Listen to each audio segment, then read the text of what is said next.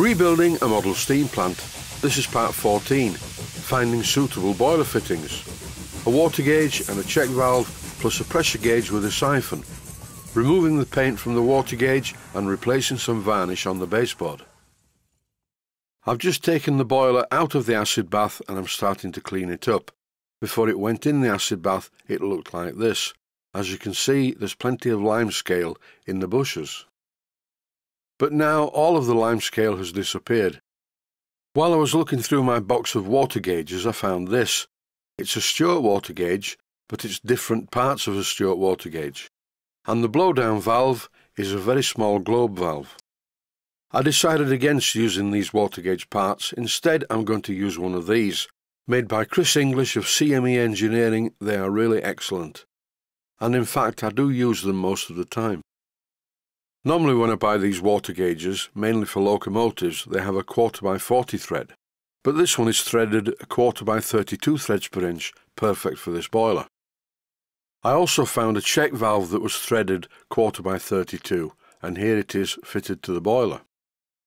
The initial fitting of parts to this boiler took place before I put it in the acid bath, and it looks quite different now, especially as I've started polishing up the barrel.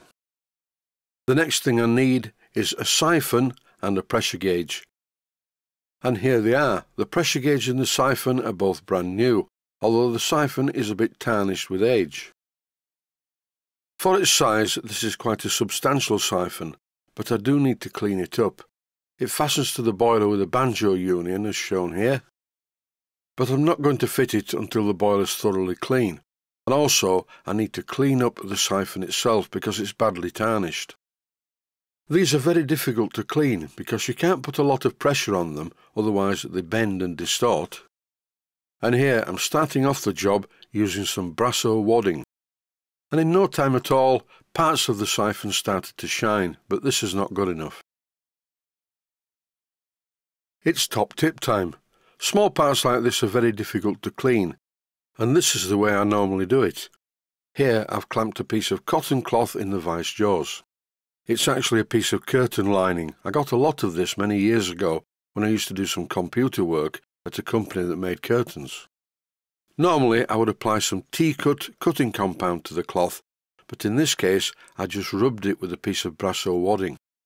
The abrasive from the wadding is transferred to the cloth. All I need to do now is rub the siphon up and down this piece of cloth. And now it looks like this, and I've been able to get inside the loop. This is a quick and simple way of polishing parts like pressure gauge siphons and even chime whistles. This is where the siphon and pressure gauge goes, but before I fit it, I'm going to clean up the boiler. And here is the boiler from the previous episode been lowered into the acid bath. This, by the way, is not a very strong acid. It's actually Kilrock K kettle descaler. While the boiler's being cleaned and descaled, I can remove the paint from the water gauge fittings. In my second workshop, which is attached to the house, I'm putting the fittings into a food container, which is part full of cellulose thinners. I'll leave the parts like this until the next day, when I find that almost all of the paint has fallen off. I remove the rest very carefully using a toothbrush. It's not a good idea to touch this stuff with your fingers, and you certainly don't want to get it in your eyes. Suitable PPE, personal protective equipment, is recommended. You will notice that the bottom water gauge fitting has an aluminium washer fitted. This was removed and now it looks like this, and when I fit the water gauge to the boiler I will use copper shim washers to align it. In this clip you can see that the paint is literally falling off the parts and I'm not applying much pressure with the toothbrush to remove all of it.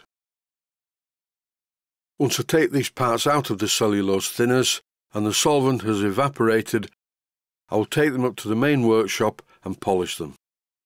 For now they can stay where they are in the cellulose thinners to remove any final traces of paint.